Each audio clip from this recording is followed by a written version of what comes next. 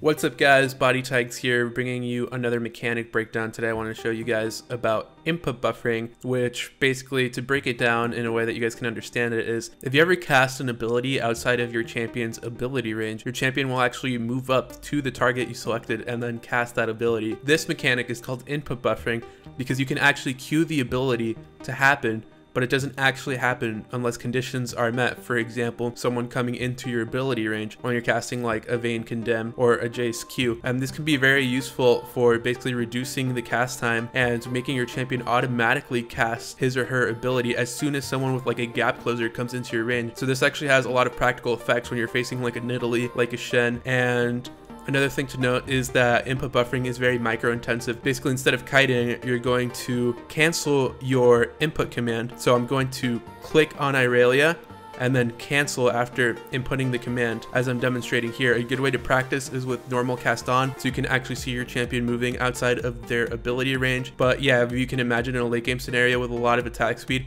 having to cancel your input command and keep it buffered is going to get very micro intensive. We're going to look over some examples and see what it looks like in a pro game. So let's get into it.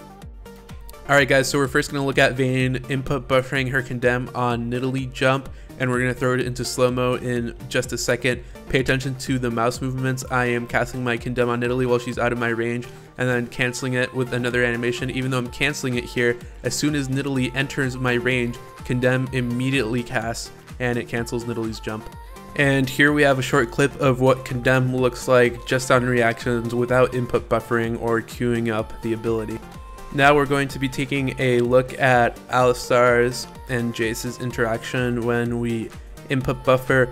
We're also going to take a look at it in slow motion. As you can see when input buffering, Alistar will very rarely land the pulverize and just get knocked back after hitting the headbutt. We're also going to be taking a look at what it looks like when you don't input buffer and try to knock back a skilled Alistar player based on only your reaction time. And to finish it off, we're going to look at the Alistar and Lee Sin interaction. This first one we're to slow-mo is input buffering and look at the mouse movements. I am queuing up the Alistar headbutt, so as soon as Lee Sin enters my range with his Q, I instantly headbutt him. When I don't input buffer, it takes me until after Lee Sin has finished his Q to headbutt him, and this is just a fun clip of what a double input buffer looks like if both you and your opponent are using this technique. It's kind of like a draw. So I hope that you guys learned a lot from this video and that you guys can use this mechanic to better improve your reaction times and casting and getting all of those pesky gap closers away from you. So thank you guys so much for watching. My name is Bodytags. If you're new around here, make sure to subscribe or leave a comment and I'll catch you all in the next video.